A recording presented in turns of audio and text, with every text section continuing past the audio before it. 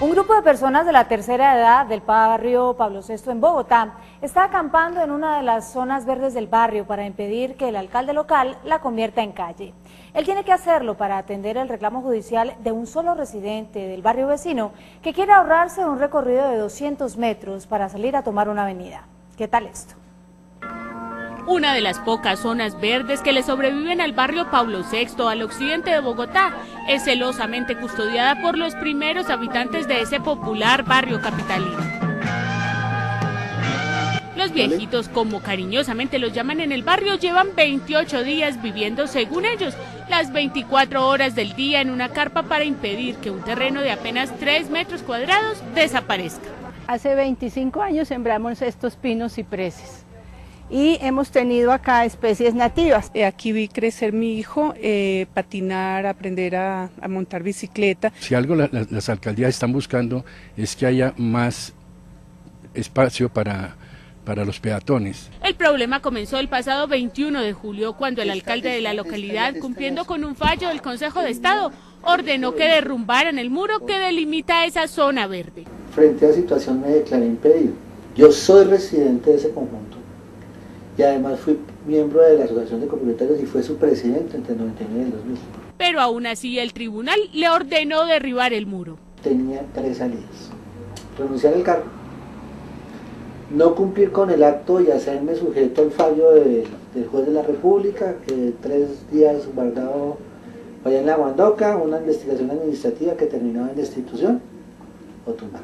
Llegó a las 4 de la mañana con el ESMAD, con tanquetas, y de una vez derribó el muro. Pero dentro del fallo no solo estaba el muro, también la zona verde que separa a Paulo VI del barrio El Quirinal y que ahora se debe convertir en un paso vehicular. Que vamos a quedar como en la décima con Jiménez y entonces la inseguridad del barrio va a ser total. Lo importante es, al abrir una vía pública y vehicular es descongestionar y aquí no se descongestiona. Tanto en la parte norte como en la parte sur hay bloques de edificios, entonces no, no tiene ningún sentido abrir esto. Incluso su asesor jurídico, quien ya tuvo acercamientos con la Secretaría de Movilidad, asegura que la entidad no está interesada en abrir ese paso. La Secretaría de Movilidad es consciente que por estar en el marco, en el anillo del, del Parque Metropolitano Simón Bolívar, los perjuicios que se harían abriendo esta vía son muy grandes. Y es que la Secretaría de Movilidad nunca pidió el terreno. Todo comenzó por un capricho de un vecino del otro barrio que ya ni vive en el sector. El señor de Quirinal nos puso una querella porque eh, solicitaba pasar su carro de directo a la 53 sin hacer una vuelta que hay que hacer. Los vecinos de Pablo VI lo único que quieren es conservar la tranquilidad de su barrio, porque según ellos cuando hay eventos en el Parque Simón Bolívar, esa zona de la ciudad se vuelve un caos. Esto se nos volvió un parqueadero del Simón Bolívar eh, con venta de mazorcas, venta de cometas, indigentes. Este es un barrio de un 65% adultos mayores y niños que están acostumbrados a transitar tranquilamente por esta vía. Conservar esta zona verde, imagínense ustedes, semejante petición tan grande, solamente es un arbolito, unos arbolitos y una zona verde para que los abuelos puedan caminar. Según el alcalde de la localidad, ya no hay nada que hacer, solo esperar a que la Secretaría de Movilidad y la Defensoría del Espacio Público determinen el diseño de la zona para definir si es necesario eliminarla. Un fallo que está revestido del,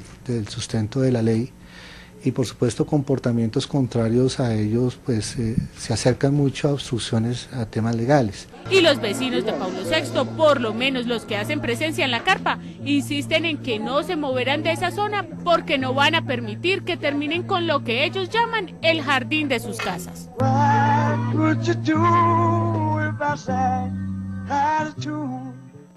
Estas personas están dispuestas a invertir lo que les queda de vida peleando por los árboles que sembraron y vieron crecer. Si usted tiene un caso para qué tal esto, llámenos ya al 410-7236 en Bogotá o escríbanos a qué tal esto arroba noticias1.com. Nuestros periodistas investigarán. No olviden visitar noticias1.com. Nos vemos el próximo sábado a las 9 y 30 de la noche en Noticias 1 con las mejores noticias del fin de semana. A ustedes gracias por elegir la independencia.